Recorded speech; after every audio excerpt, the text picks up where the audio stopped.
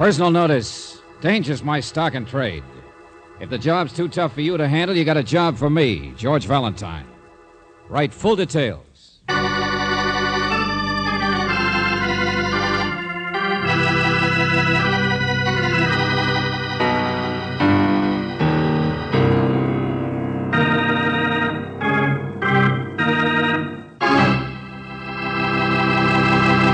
Say, have you got any skeletons hanging in the closet? If so, dig 'em out and set 'em by the radio, because we have a dandy story that's going to make 'em feel right at home. It's called Uncle Harry's Bones, and it's complete, all except for his floating ribs you lost somewhere between 18th and 19th on Chestnut Street. Now, where they keep Uncle Harry's mortal remains, only time will tell. Besides, George Valentine has to have something to do for the next little while. Otherwise, he wouldn't be able to go around saying, Let George do it, which would not be good, since that is his aim in life. Anyway, if the maestro will throw us a bone in E flat, we'll get on with the epic.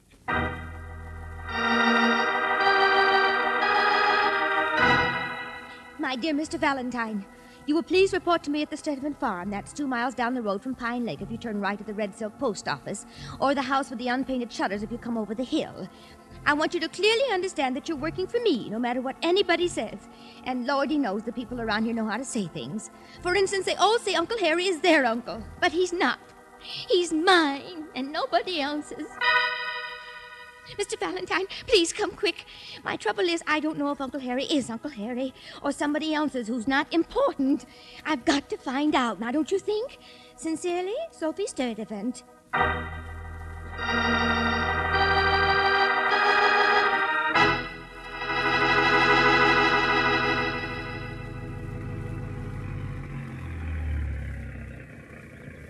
Hey, friend. Hey, you. What's your trouble? Hello. We're looking for the Sturdivant place. Oh, oh, down the road, past the hill. If you're looking for Doc Sellers, he's just gone into town, I think. Doc Sellers? Who's he? No, it's Sophie Sturdivant we wanted to see. Oh, Sophie, her. Oh, what's funny? Eh, nothing. Doc's her brother. He's all right. What's the matter with her? Nothing. Okay, thanks. Look out for your foot. Hey, hold up, hold up. Don't see many strangers around here. Where are you from? Looney Bin? A loony bin. Sure. Eh, Sophie's all right. What are you driving at, Buster? My name's Dorky. What are you driving at? Say, tell me something. Where does Sophie's Uncle Harry live? Who? Uncle Harry. Some kind of a character around here, I get it. Nope. No Uncle Harry around here. But she wrote. Hey, that there look, was- this is a nice, peaceful place. People don't like strangers making trouble. None of my business, none of yours. Let well enough alone, I say. You'll live longer.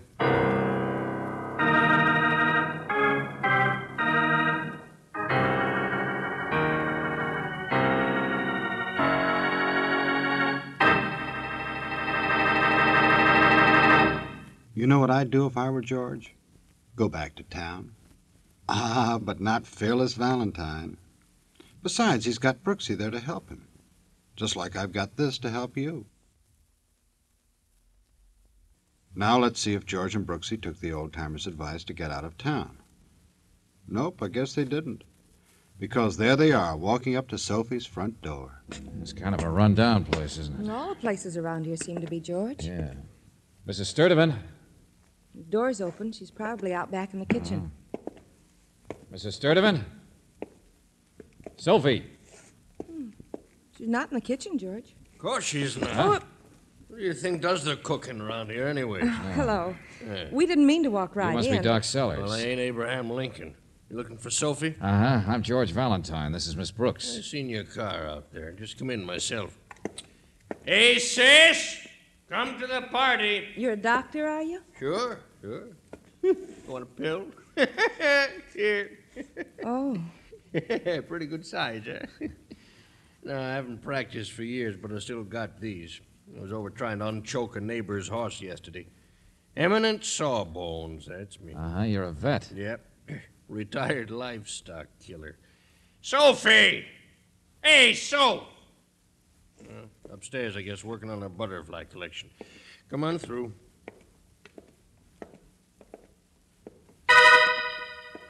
Sophie, for the Hey. love. She must have fallen down the stairs, George. I'm all right. I'm Here. all right. Get her over to the couch. I'm all right. Clumsy ox, what'd you do? Trip over your own Oh, feet? here, let me. She didn't fall downstairs. Huh? Yes, I did. That's what I must have done. But how did your face get those blotches on it? How'd you get that black eye? Uh, no one hit me. What'd you say that for? I mean, I, I fell, that's all. Look, did somebody slap you, knock you No, down? no, no, no. Well, who was it? Why? When did it happen? No, stop it. Stop it. We've come to help you, Sophie. So why won't you tell us what? Oh, Huh? Huh? What are you looking at me for? no reason. Just wondered why she's still so scared. Oh, scared. no, that's ridiculous. Doc's my brother. Oh, hey, Douglas! Douglas, come on in here. Is Douglas with you? Yeah, just got back from looking at the old office. Oh, what did you find? Nothing, not a blame thing. Oh, look, both of you. What are you talking about? Yes, Doc. What is it? What do you want? Hey, Valentine, Miss Brooks, Douglas Kent. Just so you know, I'm not the kind of man beats up his own sister. Uh, how do you do? Hi. I... Sophie, what's happened? I'm happened? all right, Douglas. Doug here's another crazy, eager beaver like Sophie is, Mr. Valentine. Going off half-cocked whenever he gets... Mr. Valentine's here to help us. Isn't that right, Sophie? He's here to help find out. Oh, look, will somebody please explain what this is all about? No. No, I I think that perhaps I was wrong. What? Mr. Valentine, I shouldn't have been so hasty in writing. Uncle Harry, that's what it's all about. Uncle Harry? no. No. Douglas and I only thought. Oh, be quiet, Soph. You started it, let's finish it. Come here, I'll show him to you. Show him? Uncle Harry, the great Uncle Harry, so they say. Yeah, see for yourself. Skeleton. Nothing but a skeleton. Uncle Harry's bones. Says you. I was out fishing in the lake, Mr. Valentine, and my line got tangled, and here he is. But just a skeleton. I don't see how you can tell. Who was Uncle Harry? Man disappeared five years ago. Man who bought out the breeding farms, a hermit. Sophie's uncle. Uh huh. Well, look, I don't know much about anatomy, but is a shin bone supposed to look like this? Well, go on, Doc. Tell him. Oh, sure, sure, sure. Jump to conclusions, yeah. I made the mistake of remembering that I once said a fracture for Harry, that's all. It's what I get for playing MD. We've been downtown looking for the x-rays in Doc's old office. We were going to the barn, too, to check in his old trunks and things. You see, I thought that if we could find the x-ray that he took five years ago, it might give us a positive way of identifying... the- Bones are bones. It's not going to tell you anything. How about this? Piece of rusty wire tangled around his leg. George. The lake is full of stuff. It don't mean anything either. That'd mean something if we knew his leg was tied with wire before he died. Exactly, Mr. Valentine. That's just the way I... Yeah, see, everybody who reads mysteries goes off half-cocked. Well, what kind of a skeptic are you, Doc? Why don't you think it's Uncle Harry? Mister, I don't think one way or another. Only lots of people come up summers to fish in that lake. Could be practically anybody. Okay, Doc, I'm going to go with you to keep looking for that x ray. Douglas, get the local sheriff up here as fast as you can. And tell him to send for a police x ray man, too. Brooksy, take care of Sophie. Look, I, I'm just as upset about Sophie as Don't you are. Don't bother, Doc. I finally got the idea. It's a skeleton in the closet we're after. Well, come on then. We're going to start opening doors.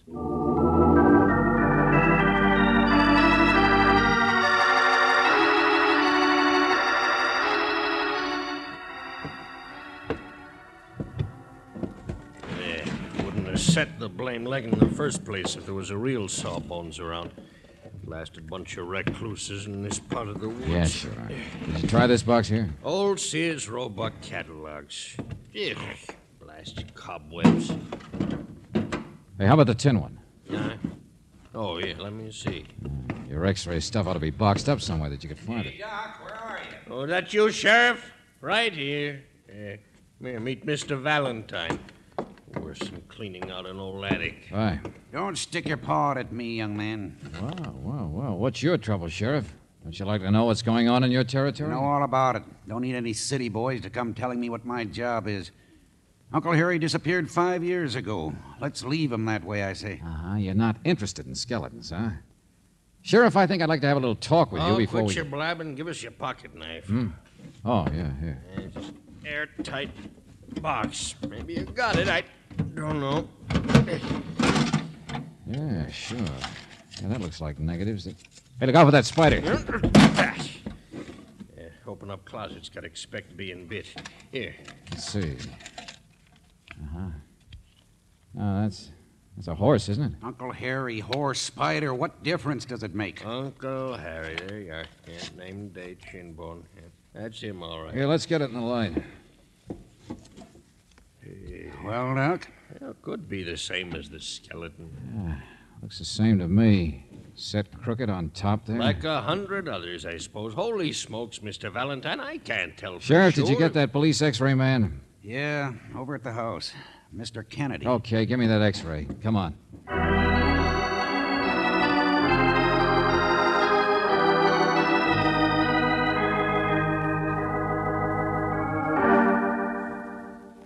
Absolutely. There's no question about it. But isn't it true lots of people have broken bones, Kennedy? I'll be glad to swear before a jury that this is the same bone. Before a jury? Of course, Mr. Valentine. Hasn't anyone here noticed the fracture in the skull? Hmm. Here, right here. Why, no. Enough to cause death, I should say, in that location. I will also testify that the fracture must have been made before the body became a skeleton. In other words, the X-ray proves it's Uncle Harry. Precisely. And the combination of fracture and wire around the legs unquestionably proves that he was murdered.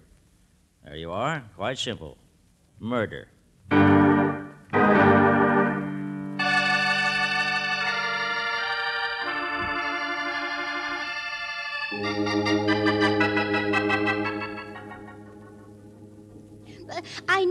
Uncle Harry, all right, Sheriff, but the important thing is who did it. Sure, sure, Sophie. Now me and Mr. Valentine Wait a have to- minute, listen to her. Young lady, I've known Sophie for years, and anything. but anything she that you- knows who killed him. She what? Of course I do. And I always knew it had happened, too. And that's why I hired you, Mr. Valentine, to catch him. Somewhere in Manitoba, Canada, I think was the last place. You know, he sends me checks. You see, that's because he feels guilty about the way he treats me. Harry was a skinflint, a miser, a bloodsucker. I've sent descriptions. I've had detectives after him lots of times, but they've never been able to Wait a minute, him. wait a minute, please, both of you. She's talking about her husband, George, her second Well- husband. He only married me because of Uncle Harry's money, and I was the relative. But Uncle Harry was too smart for him. He'd never give him any. Oh, no, not him. Sophie, why do you... Bunker, his name is, and when you find him, you'll hang him, won't you, Mr. Valentine? I know Bunker did it. He always said he got Harry's money, and five years ago he did it, don't you see? And then he disappeared. Hold it, hold it, will you please? This bunker, what happened? Was he a husband that ran away from you? I beg your pardon? I sent him away, don't you understand? He was no good, and I sent him away. That's why I'm using my first husband's name. Bunker was a lying cheat, and he killed Uncle Harry, and I sent him away before I knew what he'd done. Well, get him, that's all. Get him and hang him.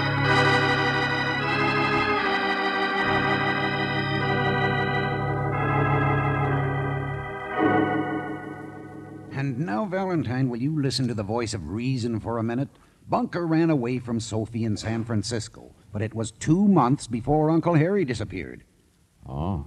Sophie's just a little cracked on the subject, that's all. As I figure, Bunker's the one person probably didn't kill Uncle Harry. Forget him. What do you mean? Lonely area around here. Anything can happen. Nobody will be able to remember. Five years is a long time. Mm-hmm. Okay, okay, I understand it all now. It isn't just the skeleton in her closet, is it? Nope. Yeah, Sophie wanted me to prove it was Uncle Harry so she could prove it was her no good husband who did it. Instead, now we've got to solve a five year old crime that everybody else would have to have hushed up. Because everybody in the whole area is a suspect for murder. And you know who'll get the last laugh? Uncle Harry's bones.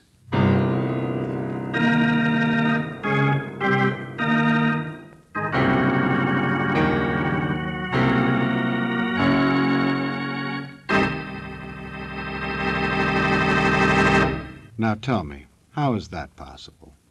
For Uncle Harry to start laughing, that is. It isn't. Not unless all that's left of Harry is his funny bone, which is a nice, happy thought.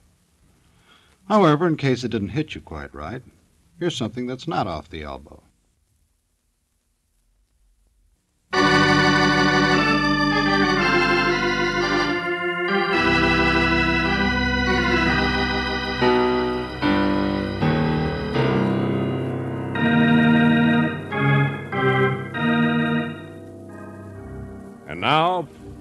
It It seems your client, Sophie, is the only one who ever liked Uncle Harry. Everyone else, including the sheriff, would prefer to let sleeping dogs lie. And if your name is George Valentine, you know how hopeless it will be to try to solve a five year old crime when everyone in town is a suspect. Sheriff Harry was a miser, wasn't he? A hermit and a miser. What are you getting at? I don't know. Gold. Misers have gold, don't they? Of course they do. If they're smart, like Harry was. Well, sure, that's why he was killed, I guess. What do you mean? Well, most of his money was in property, but people always said he had a good many thousand dollars stashed away somewhere. Somewhere like where? Ooh, up around that place of his. I could never find any, and I'm the one who boarded the place up after he disappeared. I mean, Uncle Harry's place. You mean you mean there's a house, a farm, or something? It's a cabin. Nothing but a cabin. Well, come on, Brooksy. What are we waiting for? About a mile around the lake from here. I boarded her up solid in case he ever came back. George, what about Sophie? Never mind her. Now I know who smacked her.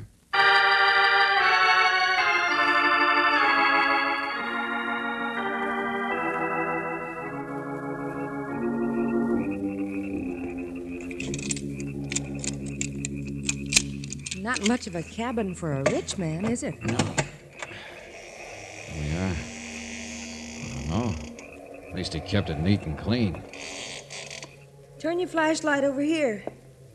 Oh, Just a desk, that's all. you think there's any point in going through it? Not if you're looking for money. Listen. Oh, it's just the wind, I guess. Hey, wait, Brooksy. What? A brick out of the fireplace. Yeah, a nice little hole underneath. Oh, maybe Uncle Harry did have some money. Sure, of course he did. What's the matter? Hole in the mattress. Place for a box. Or, oh, Hey, look out! Oh, I tripped. well, there's nothing funny about it. Yes, there is. Loose board, Angel. This place is honeycomb with old hiding spots. Yeah. All of them empty.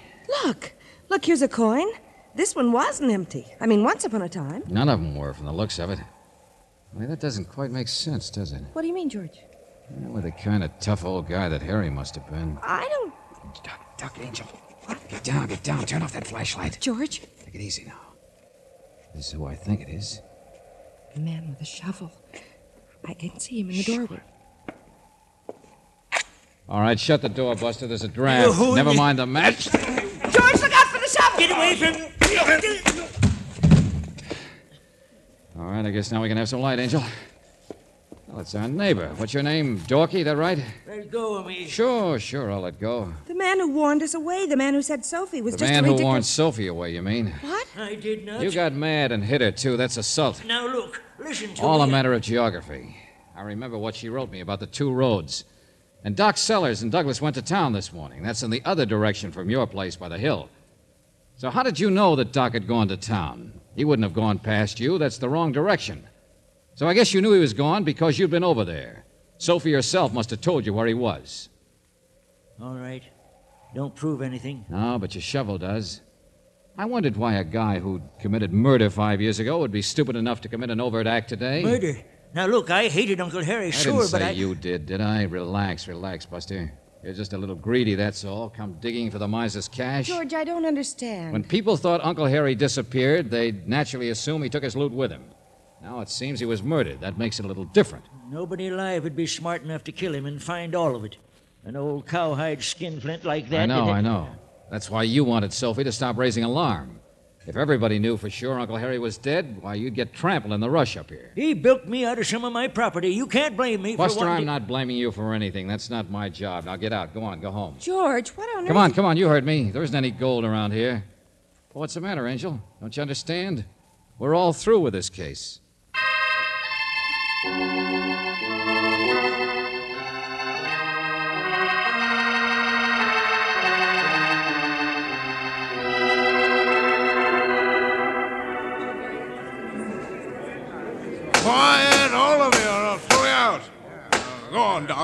Doc. Sure, Coroner. There's not much to say. I've given my testimony. He's identified the body. That's all we need from Doc Sellers. Well, Sheriff, who has got something to say? I understood this fella Valentine had caught somebody up at Uncle Harry's shack. I know this isn't a court, but we sure want to hear everything that I haven't got anything to add, Coroner. Now, see here, No, Valentine. no, Coroner. I'm all through with this case. Yeah, I'm on my way back to the city.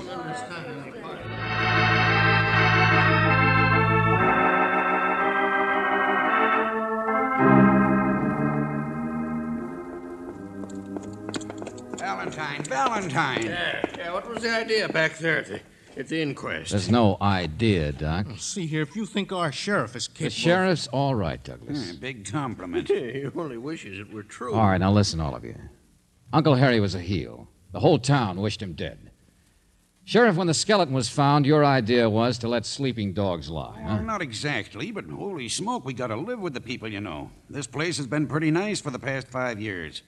Well, then, We'll take care of Dorky, all right. for but- assault, that's all, Sheriff. That's your business. Yeah, but now I got a murder to solve. You help get this rolling. You can't just walk All off. right, and- all right. Keep your shirt on, Sheriff. You won't have to nail anybody in your town for murder. But you said that the. All right, let's start at the beginning. Five years ago, Uncle Harry, the hermit, the miser, the boy with the gold. Somebody comes and tries to get his gold, kills him, takes his gold. But you've been up to the cabin, Sheriff. How did the killer find all the loot in at least three separate hiding spots? Well, he could have twisted the old boy's arm or dug around. Nothing was he- disturbed. He went right to the spots. Yeah, I remember. And if he got rough with Harry, would Harry have told him where all the spots were? Well, no. I see what you mean. No, you don't, Douglas. Maybe Sophie's an unhappy, bitter woman, but uh, she had the right idea. Sheriff sent some telegrams to, uh, where was it she got her last money order from? Someplace in Manitoba, Canada? Bunker, that, that no good husband of hers, he's the one. Bunker? Well, I grant you he could have come up here after he left Sophie in San Francisco. I guess nobody would have known if he was out at Harry's place. Yeah, but she's had detectives looking for Bunker, tracing those little those little money orders he sent once in a while. Well, that's right. They ain't been able to find him, Valentine. Okay, okay. But, Doc, you wouldn't be able to lie about x rays of anybody who's still around here, would you? I mean, right out in public court and all? No, no, no, you couldn't do that. You'd be caught up. Hmm, what are you talking about? Perjury. I waited just long enough for you to commit perjury at the coroner's inquest, Doc. Well, what, what are you what are you talking about? A tin box with a live spider in it. Spider? Yeah, that's what gave me the idea, and it's the only way to explain everything. Suppose the spider got in there when the box was opened, say, a few days ago. By Doc alone. You're crazy. No more than your sister is. Suppose you switch some x rays. We'll tie that together with what I said about Uncle Harry's hiding places. There's only one person who could have gone right to the hiding places, and that's Uncle Harry himself. No, now look. But he couldn't do that if he were dead, could he? All right, then. Suppose Doc here once treated a fracture for Bunker. Bunker? Yeah. Oh, boy, that would. Yeah, simple as that. Five year old crime. Man killed another man, threw him in the lake. And now, because his sister would inherit some property and so on, Doc decides to make the skeleton into Uncle Harry, when it's really the skeleton of Bunker. That's not true. Now, Sheriff, you gotta believe me. Perjury. Doc. Perjury, remember? But, Sheriff, I think the reason detectives haven't been able to trace Bunker is pretty simple now, don't you? Wrong description. Just send a description to Canada of Uncle Harry. They'll get him all right. and there you are, Sheriff. Instead of just a bunch of bones, Uncle Harry is a real live murderer.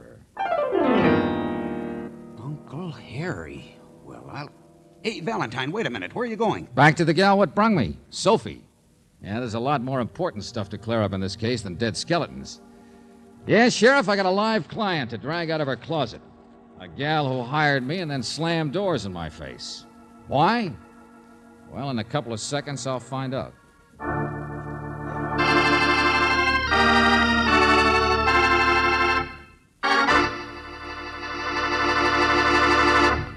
You know, I'm kind of sorry for old Sophie. I've got a feeling that when George gets through with her, she'll be sorry the story wasn't called Aunt Sophie's Bones. But while we're waiting for the worst, let's give a listen to the best.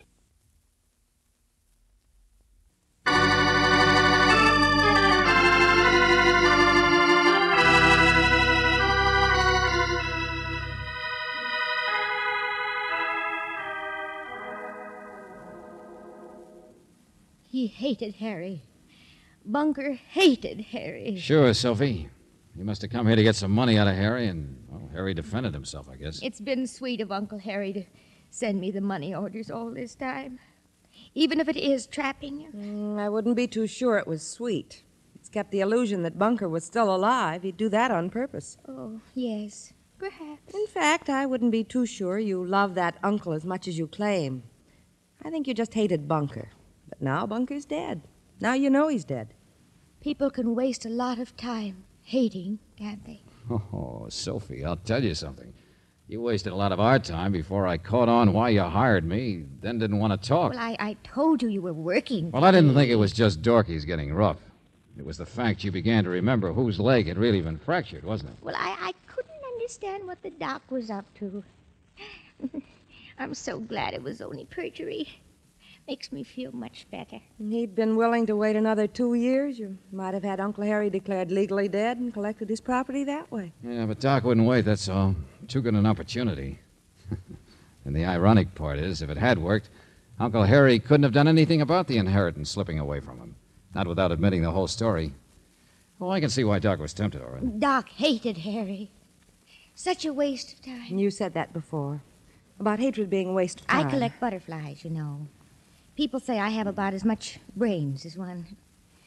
But anybody who wastes time is Uh, crazy. uh, sure, butterflies, I suppose so, yeah. He's stupid, isn't he? Doesn't learn any lessons from seeing what happens from from an unhappy marriage. Don't worry, Sophie. I'm the teacher. What? Hey, what is this? Come along, George. Time to say goodnight. Oh, now you haven't seen my butterfly collection. You come upstairs with me and I'll show you my rare prizes.